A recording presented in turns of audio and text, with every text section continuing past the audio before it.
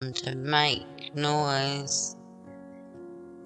She conceded that Damon could have survived as much as eight to nine minutes. Now, now let's take a look at what she just read. All right. Okay, from the time that he received all these injuries, he could have lasted as little as two or three minutes, or as much as maybe five or six minutes or something like that. Yes, maybe it could be two minutes, three minutes, maybe five minutes. Okay. Even conceivably a little bit longer. Maybe as much as eight or nine minutes. You can't tell. That's what she says. You can't tell. Now, let me show you uh, how she is differently. And this is what she says on Rich's panel. So, Charlie was on the telephone to 911. Timeline starts because the medical examiner, examiner said Said.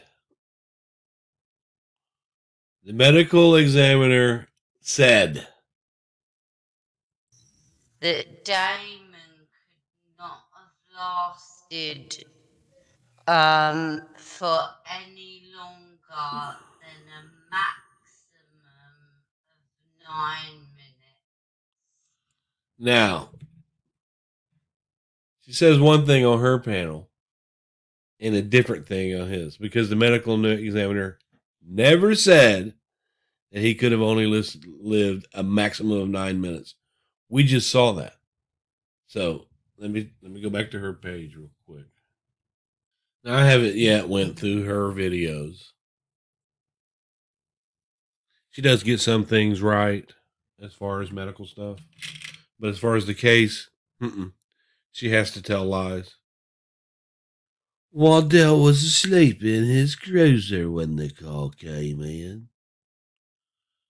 There's your lie. You got to lie. I'm gonna, I'm gonna, I'm gonna keep digging through this one right here, because she claims to be harassed and bullied and everything else. No, you're not being harassed and bullied.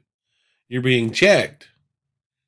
It's a big difference. Quit telling people, you know, that people don't have jobs and they shouldn't put their PayPal because your your friend doesn't have a job and uses their PayPal too. So don't be a hypocrite.